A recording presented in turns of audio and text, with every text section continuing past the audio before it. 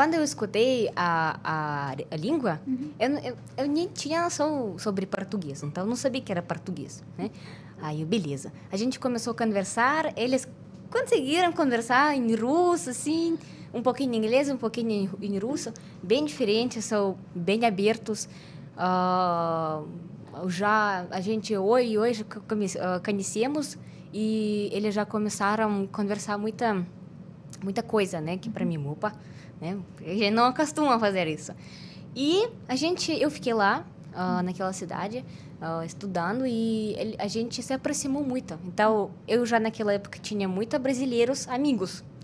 E naquela época também, minha amiga Sara, inclusive ela ainda mora na Rússia, ela fez primeiro pão de queijo para mim. Ah, a, a mãe dela trouxe a massa, não, a massa pô pronta, sabe? Aí ela fez no forno. Nossa, para mim era um super diferente.